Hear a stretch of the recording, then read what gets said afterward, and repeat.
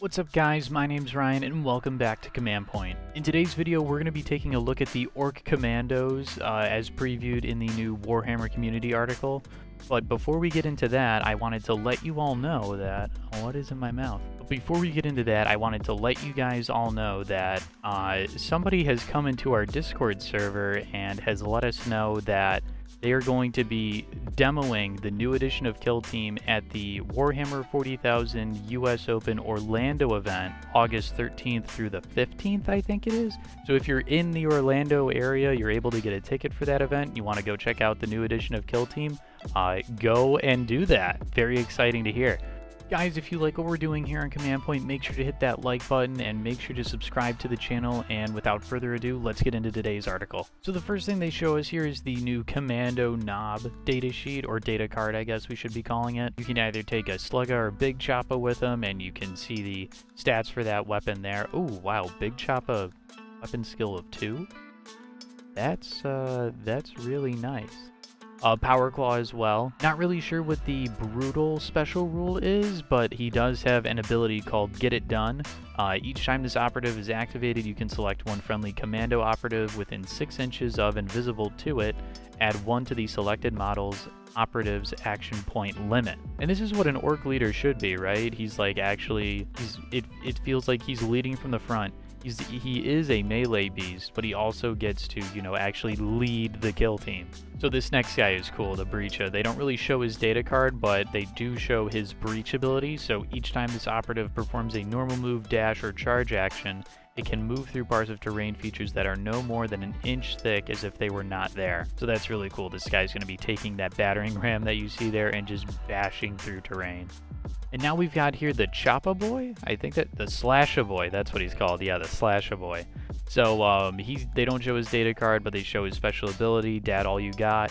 Each time after this operative fights in combat, if it lost any wounds in that combat but was not incapacitated, can roll a d6 and on a 4 up, the enemy operative that fought it in that combat suffers 2 mortal wounds. So in the second half of this article, they preview the Shooty Boys. First up, they show the Kommando Dakka Boy, and this is probably my favorite model that they've previewed, and that's because of his unique action called Dakka Dash for one action point. Uh, he can perform a free shoot action and a free dash action with this operative in any order. So that's a incredible amount of flexibility. Um, it really reminds me of um, and Raus's uh, shoot, scarp, and scamper ability, I think it's called. You know, the Blackstone Fortress uh, models that you could run in Astra Militarum. But this seems like it's more flexible. You get to perform a free dash and a free shoot action, uh, whereas those two, they would just be able to make a normal move action after shooting. Uh, his Dakka shooting, it's 5 attacks, hitting on 4s, damage is 3 and 4, and special ability is, or special rule is unload slugs. So each time this operative makes a shooting attack with this weapon, in the roll attack dice step of that shooting attack, if any if the target is within 6 inches of it, you can re-roll any or all of your attack dice. Okay. Wow, actually. So that's really cool. So imagine this guy being able to, for one action point, perform Dakka Dash. He runs up on a guy with his dash with his uh, dash action within uh, six inches of a target, and then just is able to absolutely obliterate him by re-rolling all of his attack dice. That's wild. Here they show the scoped big shooter for the uh, the sniper boy or the sniper boy. Wow, okay, so uh, this is less of a sniper rifle as it is a, uh, a machine gun with a long range scope, I guess. Um, it's got six attacks, hitting on threes, which is really nice for uh, for orc shooting. Um, damage 2 and 2, but then it's got the uh, mortal wounds 2 rule, so whenever it crits, it's going to be inflicting uh, 2 mortal wounds in addition to the regular damage. Th this is a really good shooter boy. So at the end of this article, they've got a beautiful picture of these Ork Kommandos, and they tell us that tomorrow they're going to be previewing the Veteran Guardsmen of Krieg. And then there's also a link to the, I guess they're calling it new?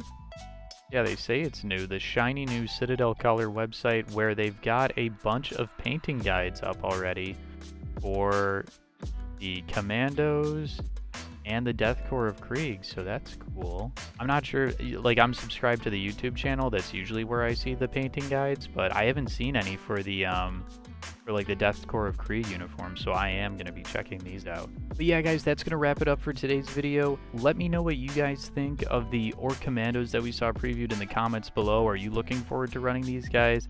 Uh, they honestly look so fun and diverse in their skill sets that I like really want to play them. Uh, I, I think Shane and I are gonna have to fight over which one of us gets the Ork Kommando kill team in the in the Octarius box if we're able to actually get our hands on one. Thank you all for watching. A special shout out to the patrons over on Patreon for supporting us. Make sure to hit that subscribe button so you can catch us all again in the next one.